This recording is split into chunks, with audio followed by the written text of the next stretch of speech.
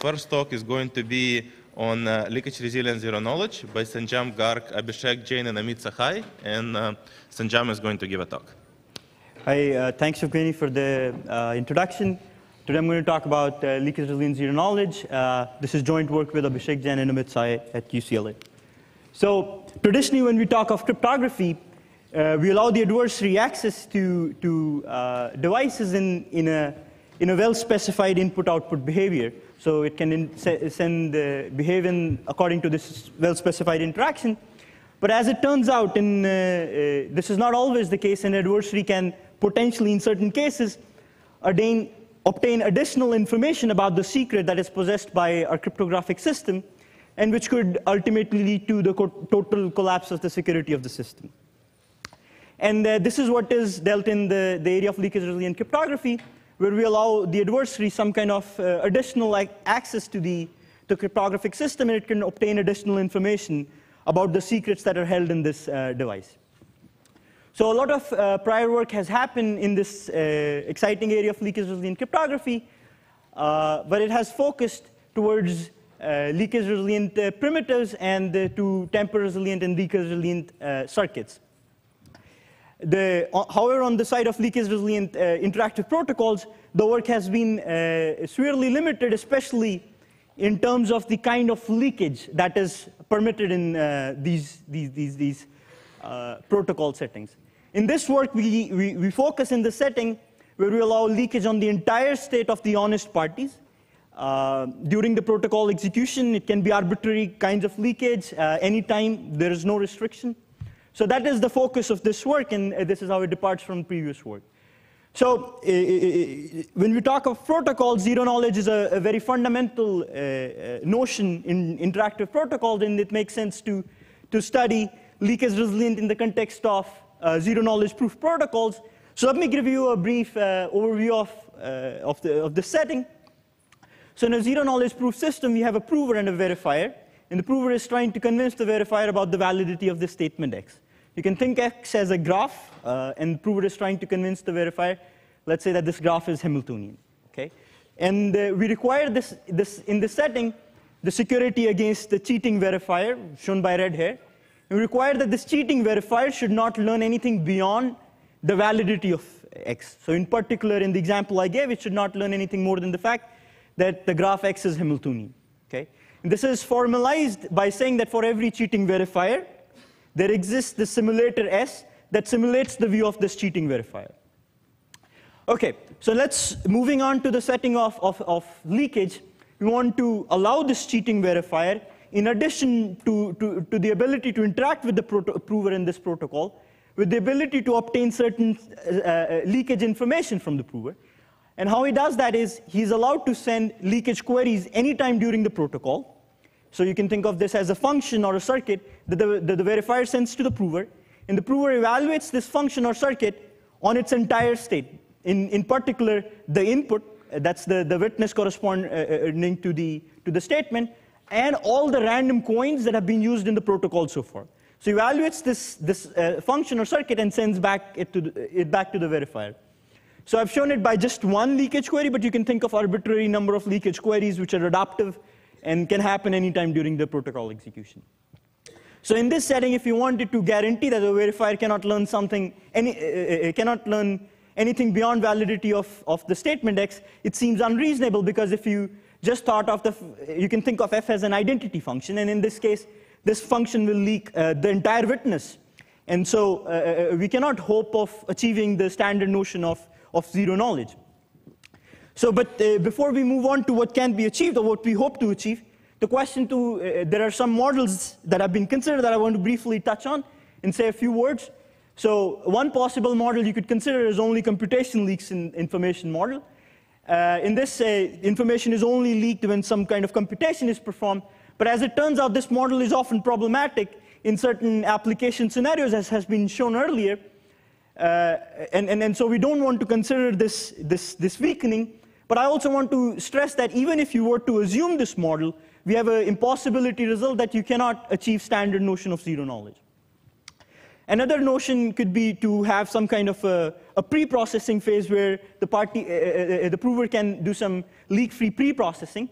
And uh, the point here to note is, again, this limits applicability, and we don't want to, to limit ourselves to, uh, by, by having a leak-free phase before the protocol, anytime during the protocol, uh, or after the protocol.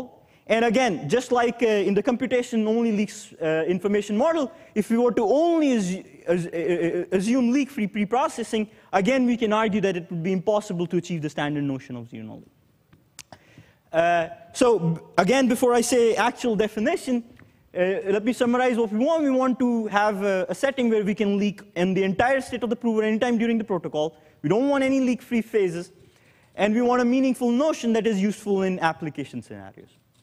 As I mentioned earlier, we cannot achieve the standard zero knowledge guarantee just because the simulator has no way of simulating queries on, uh, uh, which, which are directly related to the witness. Uh, so we will have to, in some sense, relax the definition. So uh, the, the, the, goal is to be able to simulate these leakage queries, right?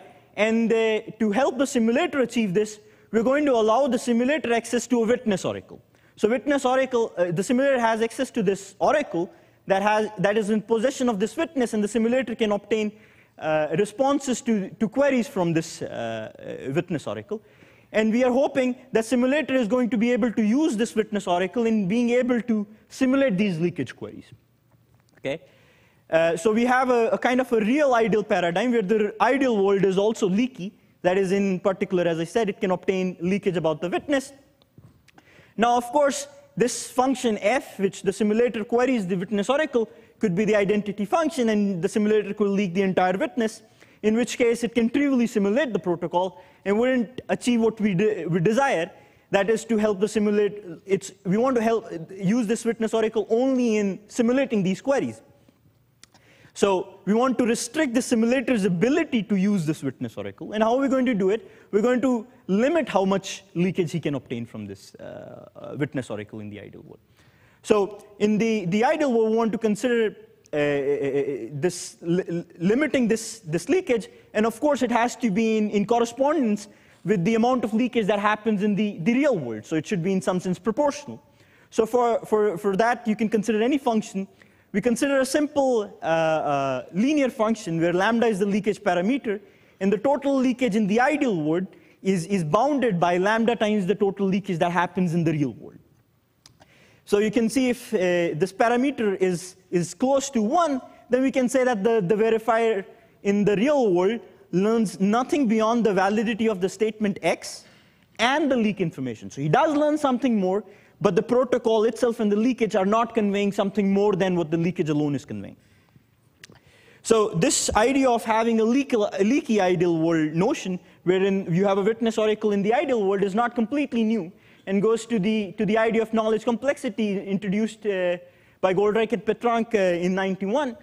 And uh, uh, the, the, the crucial difference, however, in our setting is that in their setting, the protocol inherently leaked information. The idea of the witness oracle was to help in, in the simulation of the protocol that was inherently leaking information. In our case, the leakage is because of side channel attacks. Our protocol doesn't leak any information. It is to simulate the side channel leakage in the side channel attacks that we need the, the, the, the ideal uh, oracle. If there is no leakage happening in the, the protocol, then we would not need any ideal oracle in the simulation. So at this point, I also want to, to stress a, a point of leakage oblivious simulation. So I mentioned briefly that we are trying to restrict the, the, the, the simulator's ability in using the witness oracle, and, uh, and, and so that it uses it only in simulating the leakage queries. And, and, and uh, but we want to restrict it even further in the sense that we don't want the simulator to actually see the answers of the leakage queries, but just to, to, to query and send the responses back. So for every leakage query that happens in the real world, he'll massage that query and send it to the witness oracle, obtain the response, and that is sent back directly to the, the cheating verifier. The simulator does not get to look at the answer. So this kind of uh, uh, uh, stronger properties needed for some applications. I'm not going to talk a lot about it. You can look into the paper for that. So now getting to our results, uh, uh, the main result in our paper is a leakage resilient uh, zero knowledge interactive proof system based on general assumptions where the, the leakage parameter lambda is, is 1 plus epsilon for any constant, uh, small, small constant epsilon that you want. And in fact, we show that uh, uh, for, for any, that this, this, this, this parameter is, is, is optimal in the sense that you cannot do anything better than, than 1. So to the best of our knowledge, this is the first positive result on handling arbitrary leakage during protocol execution. The second uh, result that we have is on leakage resilient non-interactive zero-knowledge proofs. This is also under standard assumptions. Finally, I want to uh, briefly point to you about the exciting concurrent work by Bitansky, Canetti, and Halevi. Uh, we also have some applications of our, our, results. The first application is to universal composable uh, secure multi-party computation. So in, in the universal composable setting, a composable multi-party computation setting, uh, the, we know that, uh, we need a, a, trusted setup to achieve uh, uh this kind of composability guarantees. And the known results are known, uh, we, we know results based on tamper-proof hardware, but in all these works, the assumption is that the, the, token, the tokens that are used are completely tamper resilient. In this work, we relax this assumption and say that even if, the, if you could leak certain information from the tokens, you could still achieve UC. The second result that we have is on, on fully leakage resilient signatures in bounded leakage and continual leakage model. Uh, this, this, result is not new. This was only recently uh, presented in, in, in, several papers. However, the key point that we have new is that our scheme is also secure in the noisy leakage model, which the earlier schemes were not. So let me get back to the technical part and, and, and touch uh, on the, the, the, core technical part that we have is the, the 1 plus epsilon leakage resilient zero knowledge proof system. So as I mentioned earlier, the goal is to be able to simulate these leakage queries that happen during the interaction. And for that, we have the witness oracle to help the simulator in achieving that. And, and, and in doing so, the simulator must be consistent with the past actions. So what I mean by that is the leakage might happen at a point after certain steps in the protocol ha have happened, and then the responses of these leakage queries must be consistent with the past actions. Furthermore, uh, the, this leakage and, and, the, the, the, the, protocol itself should not reveal to the verifier that simulator is cheating or fooling the, cheat, the verifier in the interaction. So in particular, you can think of uh, this function to be the identity function. I love the identity function. And, and, and in this case, in, it, it would in particular uh, leak the input, that's the witness for the statement, and all the random coins. And uh, uh, this, is, this, this might sound something like just corrupting the prover at this point, and this is actually the case, because if you're given the entire state to the cheating verifier, then that means that given the input and the random coins, the, uh, this together should explain the actions uh, of the simulator just as an honest prover strategy. So what I mean by that is, given this input and the random coins, if uh, the prover followed the honest prover strategy, then it, would, it should generate the exact same messages as were generated in the protocol. This sounds very similar to adaptive security, uh, and, and, then the key question would be, can we use adaptive security to achieve uh, leakage resilience? Uh, to, to, to, say a little bit on that, I would recall a little bit about adaptive security.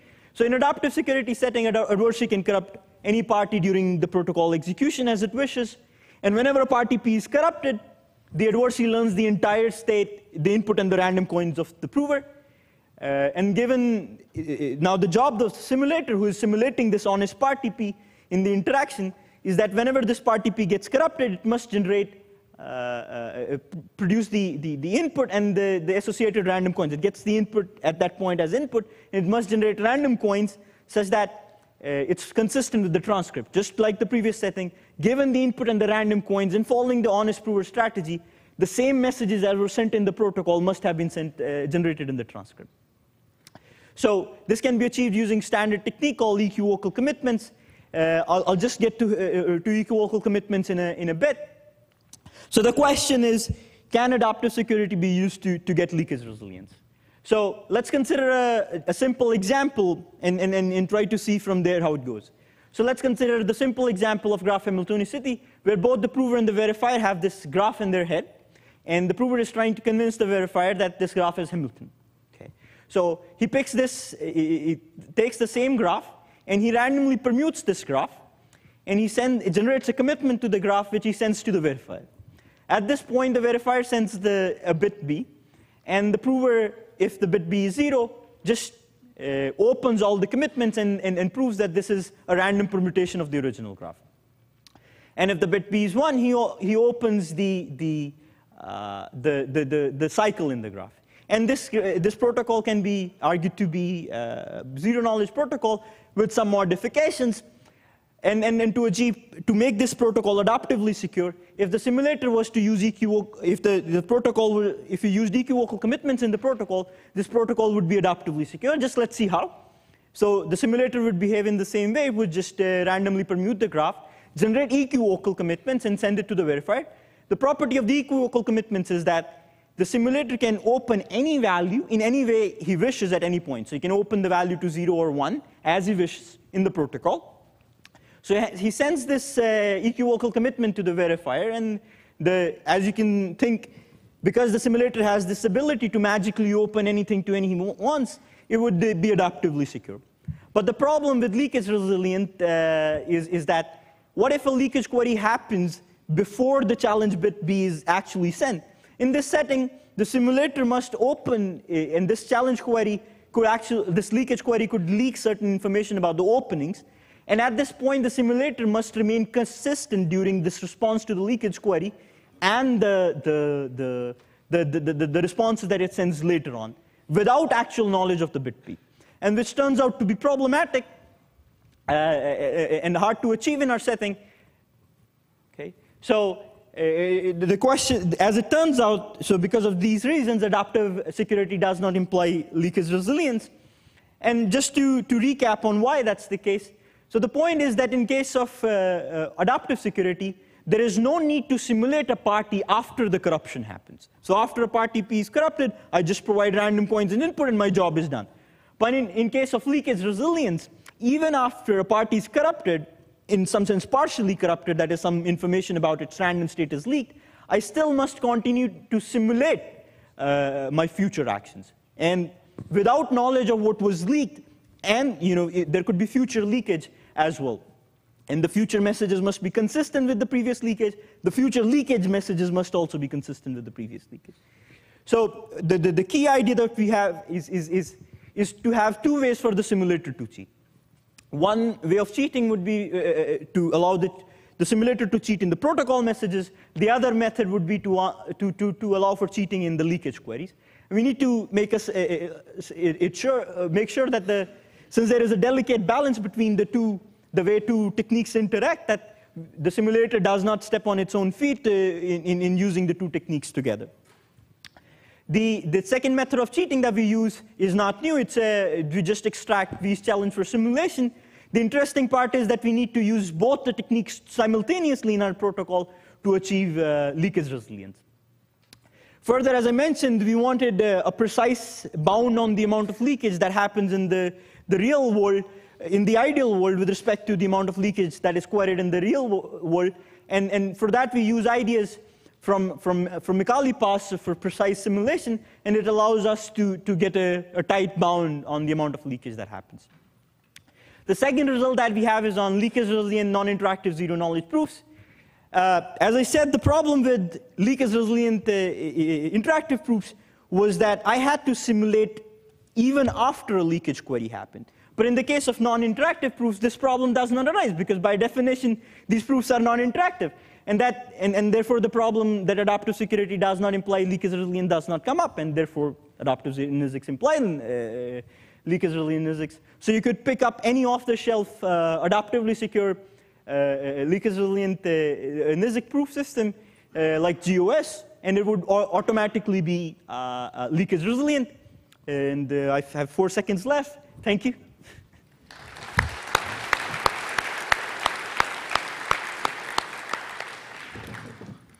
While the next speaker is setting up, we have time for a quick question.